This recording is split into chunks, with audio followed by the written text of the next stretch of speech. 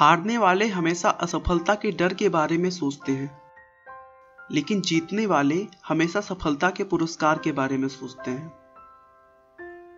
दोस्तों, मैं आज आपको अलीबाबा डॉट कॉम के फाउंडर और इस समय चीन के सबसे धनी व्यक्ति, जैक मा के सफलता की कहानी के बारे में बताने जा रहा हूँ।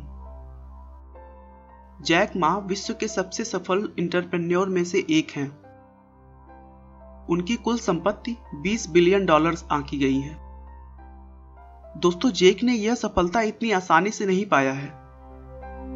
उनके संघर्षों को अगर आप जानेंगे तो आश्चर्य करेंगे कि इतनी असफलताओं के बाद भी कोई आदमी कैसे आगे बढ़ते रहने की सोच सकता है। जैक मा का जन्म 10 सितंबर 1964 को चीन के एक छोटे से गाँव में हुआ था। जब वे 13 साल के थे तभी उन्होंने इंग्लिश सीखनी शुरू कर दी थी। ऐसा चीन में बहुत ही कम लोग करते थे, क्योंकि उस समय चीन की प्रमुख भाषा चीनी थी और इंग्लिश सीखना ज़रूरी नहीं माना जाता था। इंग्लिश सीखने के लिए उन्होंने किसी शिक्षक का सहारा नहीं लिया था, बल्कि वे टूरिस्ट गाइड बन गए थे। और टूरिस्टों को घुमाने के दौरान वो उनसे इंग्लिश में बातें करने की कोशिश किया करते थे। उन्होंने यह काम करीब नौ साल तक किया, जिससे उन्हें इंग्लिश का अच्छा नॉलेज हो गया था।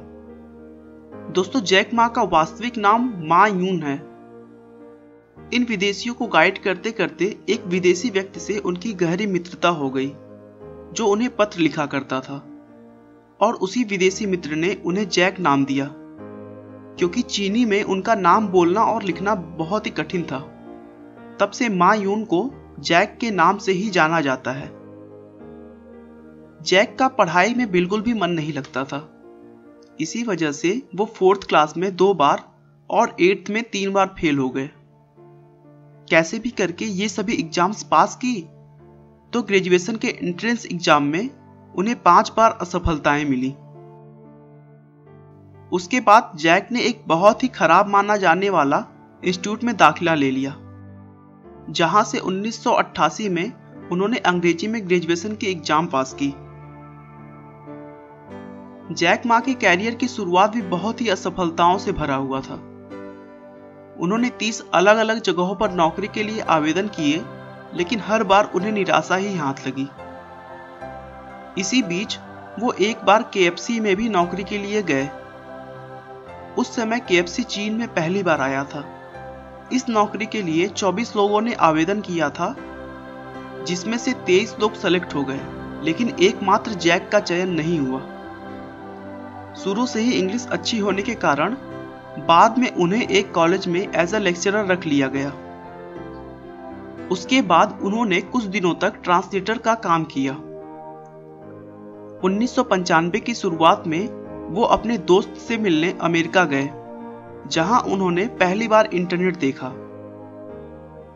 जैक मा ने इससे पहले कभी भी इंटरनेट नहीं चलाया था। जैक ने जब पहली बार इंटरनेट चलाया तो उन्होंने बियर शब्द खोजा। उन्हें बियर से संबंधित बहुत सी जानकारियाँ अलग अलग देशों से प्राप्त हुई, लेकिन वो यह देखकर चौंक गए कि उस सर्च में चीन का नाम कहीं भी नहीं था। फिर उन्होंने चीन के बारे में सामान्य जानकारियाँ ढूँढने की कोशिश की। लेकिन फिर उन्होंने पाया कि चीन की कोई सामान्य जानकारी भी इंटरनेट पर उपलब्ध नहीं थी। जैक को इंटरनेट में एक अच्छा अपॉर्चुनिटी दिखाई दे रहा था, जिसके बाद जैक ने इंटरनेट से ही जुड़ी हुई किसी काम को करने का सोचा। उन्होंने थोड़ा और रिसर्च किया और फिर अपने देश के छोटे बड़े व्यवसाय को इंटरनेट से जोड़ने के लिए अपने फ्रेंड्स के साथ मिलकर एक वेबसाइट बनाई। जिसका नाम चाइना येलो पेज था। कॉन्सेप्ट अच्छा होने के बावजूद उन्हें चीन में इसके लिए फंडिंग नहीं मिल पाई, जिसके कारण उन्हें इसे भी बंद करना पड़ा। दोस्तों, इतने असफलताओं के बाद तो शायद ही कोई होगा जो आगे फिर और कुछ करना चाहेगा।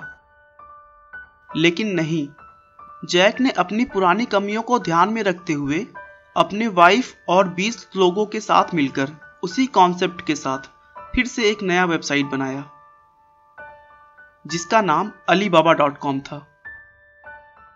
इसमें भी उन्हें शुरुआत में थोड़ी सी प्रॉब्लम फेस करनी पड़ी, लेकिन फिर सॉफ्ट बैंक के एक बड़े निवेश के साथ इस कंपनी ने कभी भी पीछे मुड़कर नहीं देखा।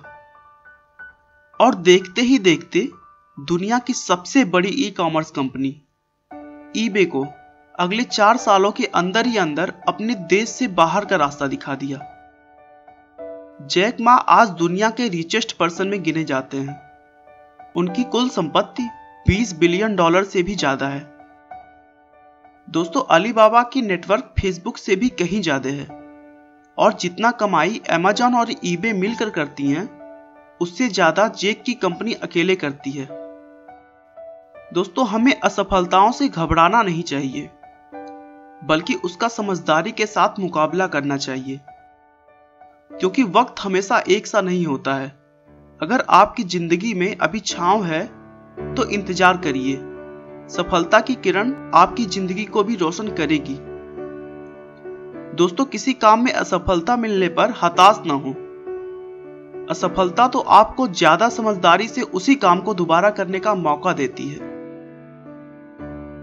आपका बहुमूल्य समय देने के लिए बहुत बहुत धन्यवाद। इस वीडियो को लाइक करके आप हमारा मनोबल बढ़ा सकते हैं। मैं हर रोज एक नई इंस्पिरेशनल और मोटिवेशनल वीडियो के साथ आता हूँ।